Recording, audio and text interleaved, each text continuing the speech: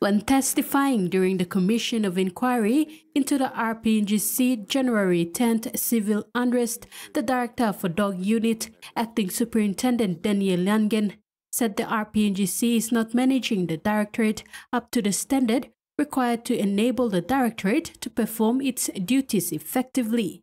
He said this wasn't properly managed because there was a split in both management and operation divisions having their own directors which was not supposed to be the case.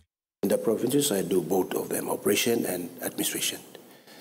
In the dog directorate, I'm doing only administrative duties only, and then and All right. not So you, operational. you, you, I, He said police officers attached to that unit are paid differently from the RPNGC Alesco pay system. Usually, their pay is diverted from the annual funding distributed to the directorate annually. Is it, or are they paid separately That's from the, the police budget? that's a normal normal salary. sir. Yangen said they receive about 2.387 million annually for their operation.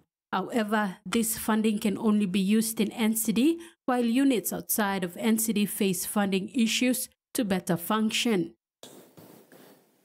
Utilities, rentals, and come down to capital formation.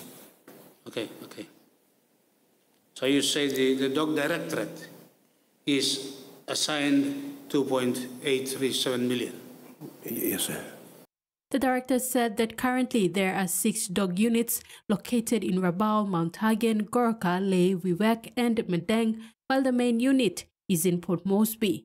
Challenges they face include having no trained dogs, limited manpower, and no funding to operate. He urged the RPNGC management to reaffirm its commitment to building this directorate due to its significant role in tracking down crime through the use of trained police dogs.